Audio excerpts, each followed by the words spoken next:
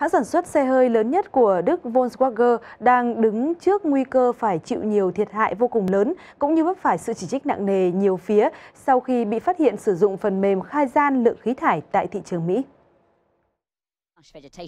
Cơ quan bảo vệ môi trường Mỹ cho biết Volkswagen có thể bị phạt tới 18 tỷ đô la Mỹ do sử dụng thiết bị khai gian về khí thải. Nhờ thiết bị này, các xe của Volkswagen có thể vượt qua vòng kiểm tra về mức độ gây ô nhiễm, mặc dù trên thực tế các xe này thải khí ô nhiễm ra môi trường cao gấp 40 lần so với quy định. Cổ phiếu Volkswagen đã sụt giảm mạnh nhất trong 7 năm qua khi giảm kỷ lục tới 19,5%, tương đương giá trị vốn hóa khoảng 12 tỷ đô la Mỹ.